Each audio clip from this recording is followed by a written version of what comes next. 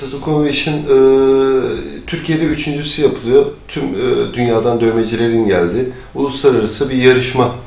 E, insanların kendini sergilediği, işte yaptığı işleri sergilediği bir ortam oluşturuluyor. Yaklaşık 3 gün sürüyor.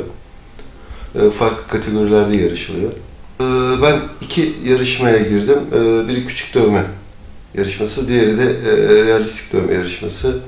E, işte küçük dövmede üçüncü oldum, e, realistikte de ikinci. Benim için sevindiriciydi. Tabii e, dövme yaptığım insanlar da çok mutlu oldu. E, çevremden iyi, iyi dönüşler oluyor.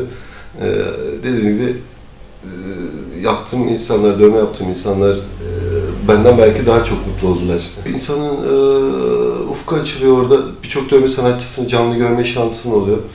Tarzlarını görme şansımız oluyor. İşte farklı malzemeleri tanımış oluyoruz. Hem muhabbet ortamı olmuş oluyor, tanışmalar. Kesinlikle e, çok keyifli bir ortam. E, dediğim gibi ben tüm dünyada yapılan bir e, yarışma bu. Bakalım şimdi bir Amsterdam'da bir convention var. Oraya katılmayı düşünüyorum. Her yıl e, birkaç festivale gitmek istiyorum. Çünkü yaptığım iş için daha da ilerlemek için bu gerekli olduğunu düşünüyorum.